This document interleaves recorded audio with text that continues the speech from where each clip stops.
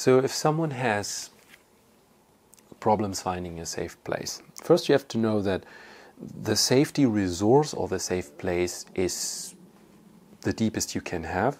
So out of a group of 10, not everyone will get it, right? So if you have 10 clients, some will have an issue with it.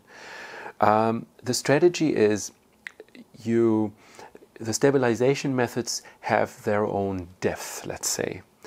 Breathing is number one. Being able to breathe and be calm, that's the most superficial. Then comes something like closing your eyes.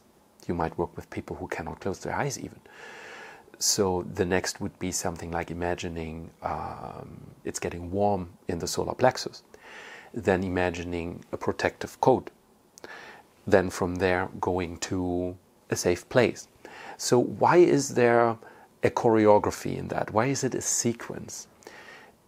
It is an empirical fact that you you might get to a certain depth and there you, then you stop. There you can't go go farther you know? That's the furthest or the deepest you get. That's the most stable you can reach.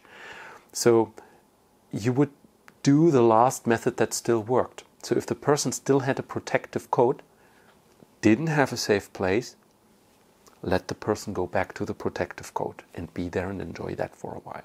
And try to go further later. Just go to the last thing that still worked.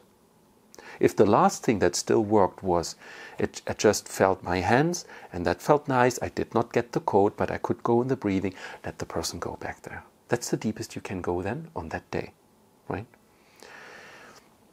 Or let's say in that moment. It might be that later during that session, if you have a long session, you can stabilize further. So the idea is go as deep as you can and stop like uh, until where the person could go.